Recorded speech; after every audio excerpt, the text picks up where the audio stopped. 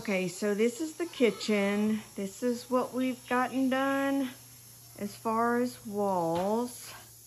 And the kitchen will be painted white. And then moving into the living room.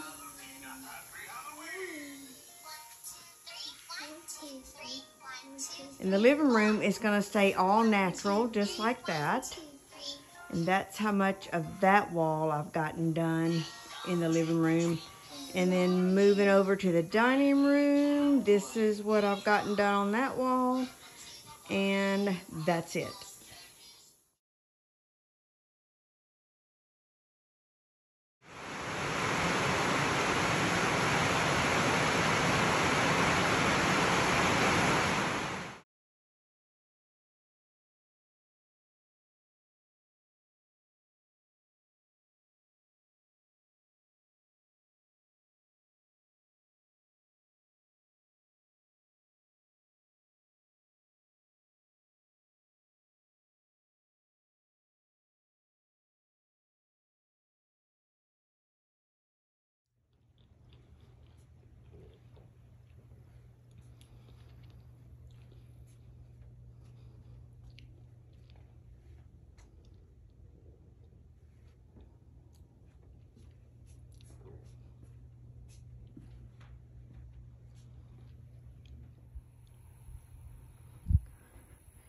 Kitchen walls are painted.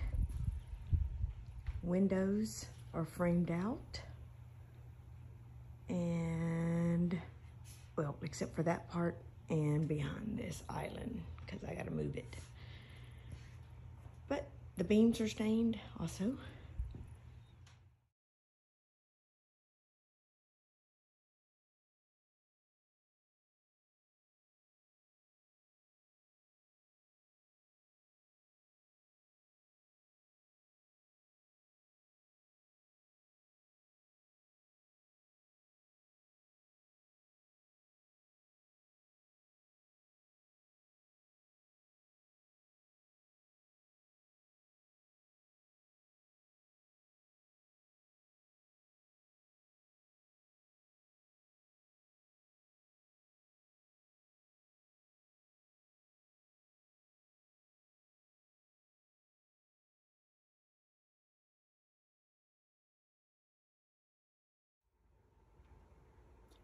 Freaking cat has been climbing the ladder and getting up in the loft because that's where it's the warmest. Is that not crazy or what?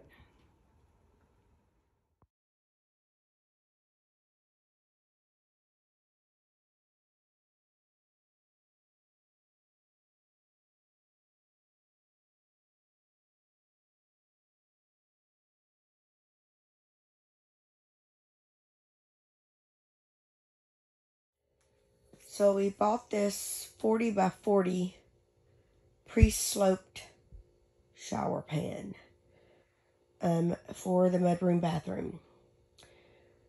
The problem is it doesn't fit perfectly. There is a three inch gap on the back and this wall over here. The front doesn't matter. But what do I do with the three inch gap all the way around to make this shower pan work? Please help.